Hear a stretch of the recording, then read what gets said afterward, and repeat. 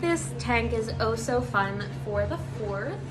I love it because it's made of a really soft and stretchy waffle knit fabric. It's also made in the USA. It has like a muscle tank kind of style to it. So the thicker tank straps and then a flowier body. I'm in my normal size medium and I really like how it fits. But I'd say if you're in between sizes, you could definitely size down in this one. Uh, you can do so much with this.